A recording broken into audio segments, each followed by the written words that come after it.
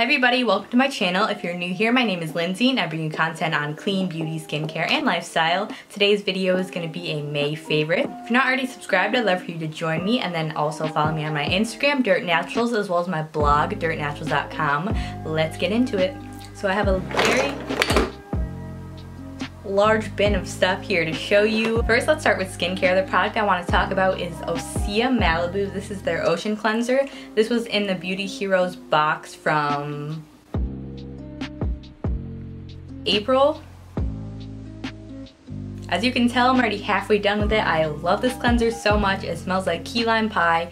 I feel like this is such a great summer cleanser. It really balances your skin's pH. I believe it has seaweed extracts. It has some amino acids, really good essential oils, jasmine oil, chlorophyll. This also contains lactic acid, which is really good for exfoliation. This leaves my skin feeling so soft and balanced, but really cleansed. It's definitely my favorite cleanser I've ever tried, and I've tried a lot of them.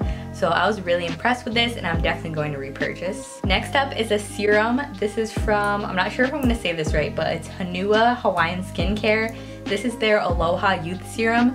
DevStay on Instagram turned me onto this product. Hey girl, thanks for recommending this because I'm so in love with it. It's a really nice and light hydrating serum.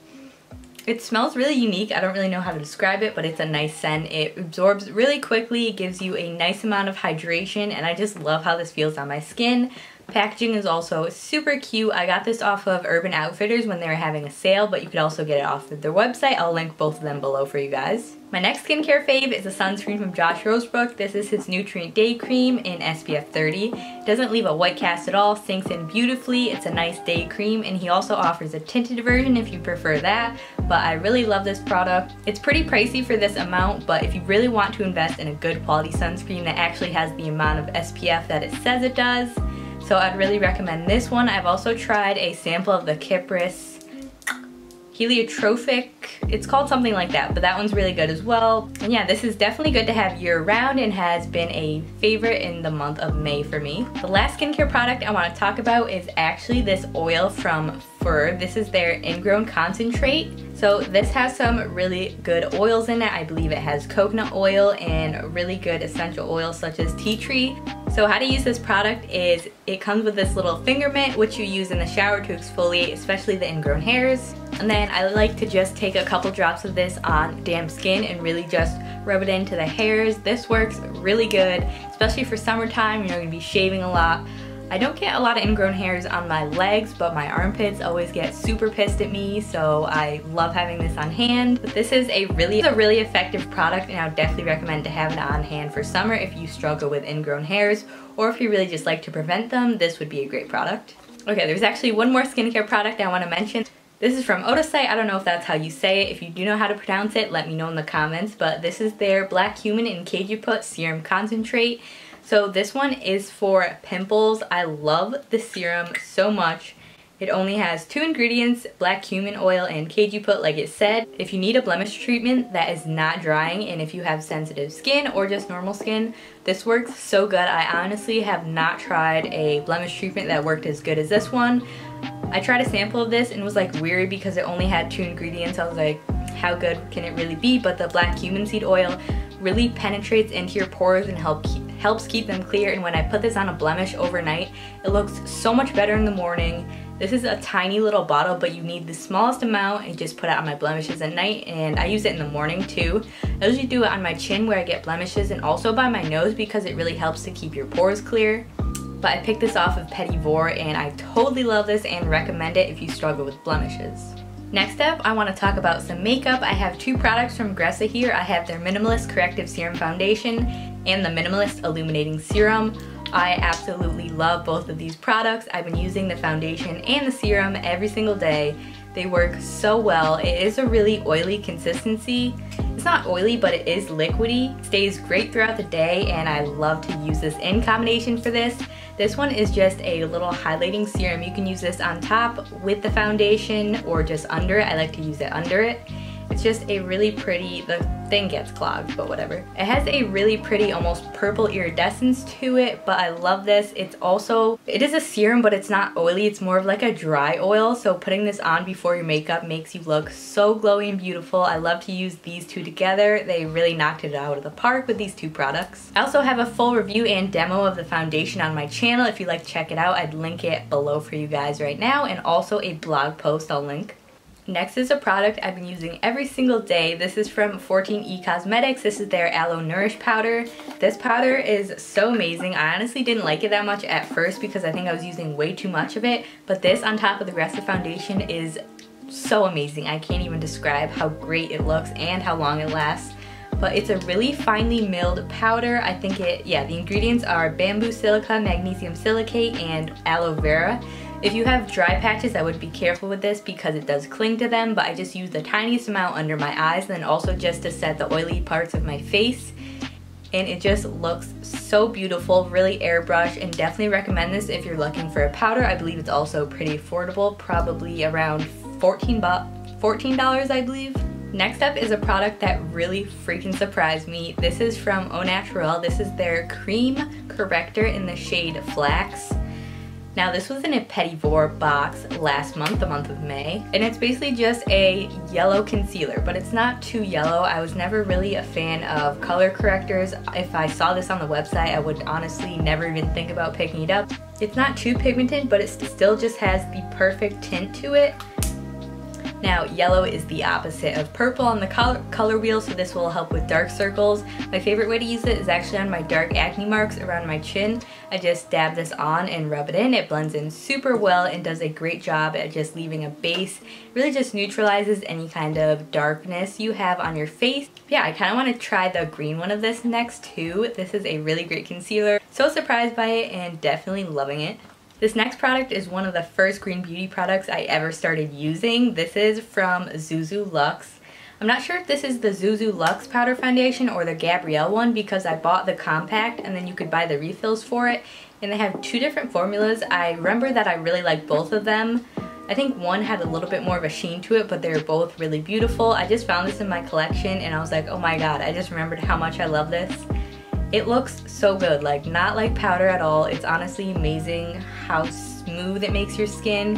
I wore this in New York for a full day and it did not break up, it didn't get oily, it didn't make me look dry. It's such a good foundation.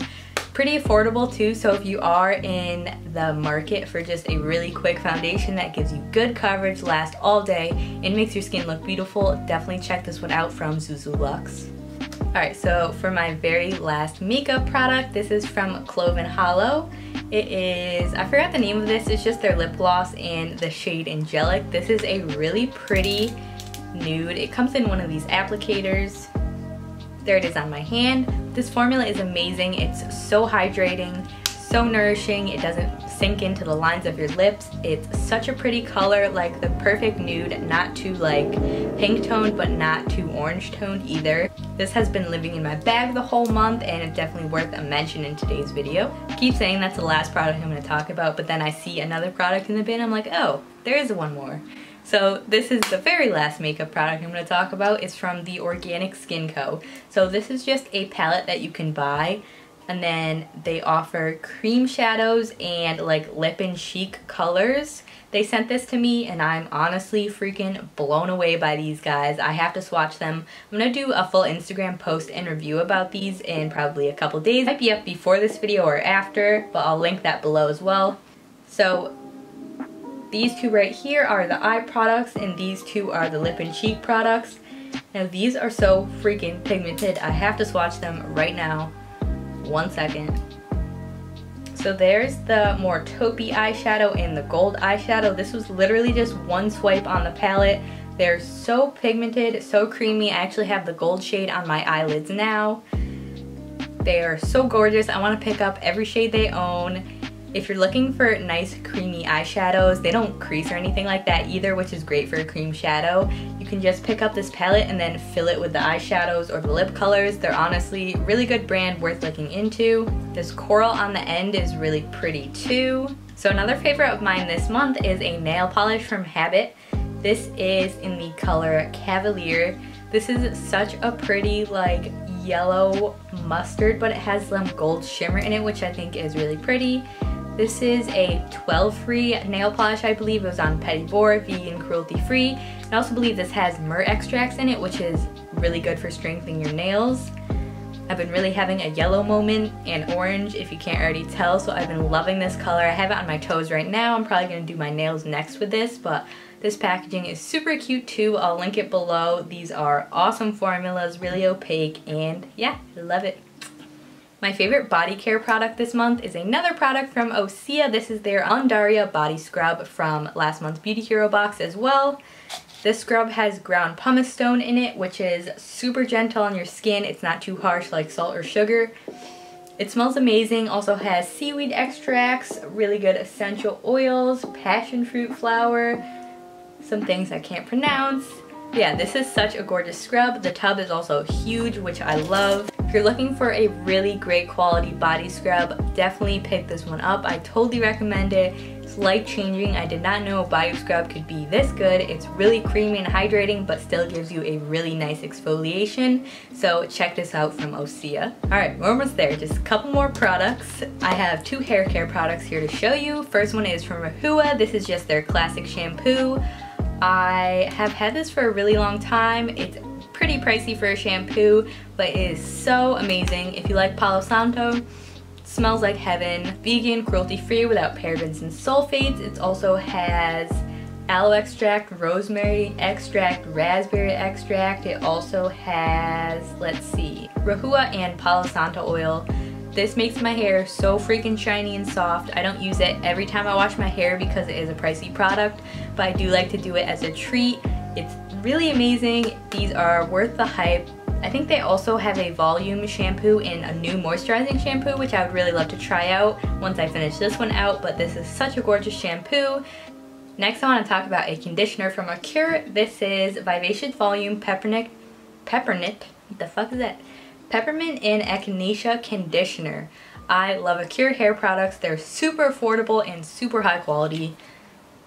This one smells really good. I like you. I love using anything with peppermint or eucalyptus because it really stimulates your scalp and helps hair growth. This one makes my hair super soft.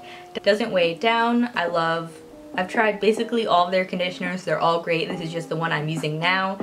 But if you are looking for good hair care that's affordable, it's also vegan and cruelty free, check Acure out for hair care. The last product I want to talk about is a wellness product. This is from Amazing Grass. It's their Beauty Elixir Green and Adaptogens. This is a drink mix. It's really good to put into smoothies or into water. It tastes really good. Doesn't taste gross at all. I've had a lot of green mixes that are just like honestly repulsive.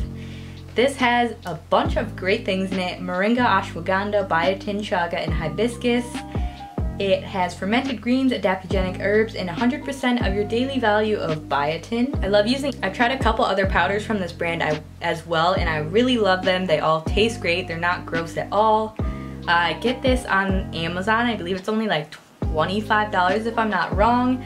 Really good deal for such a great mix. Just have this in water, like I said, smoothies. You can put it even like on oatmeal. So delicious and I've been loving this.